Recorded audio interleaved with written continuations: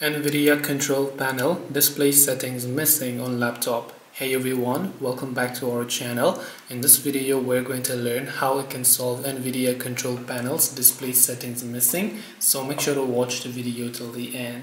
Now if your display settings are basically missing for NVIDIA control panel, it's actually quite simple to fix it.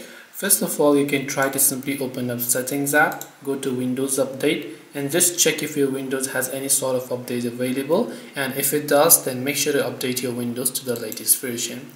After you've done that, just go to Device Manager as you would be able to find here and once you go to Device Manager in this case, you will see this type of information here, right?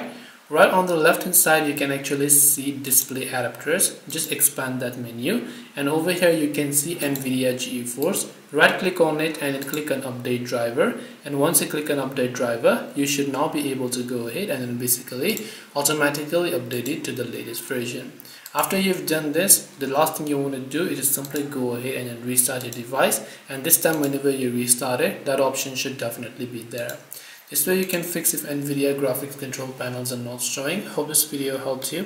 If you have got any questions, feel free to also leave them down below. Thank you for watching till the very end and see you soon in the next video.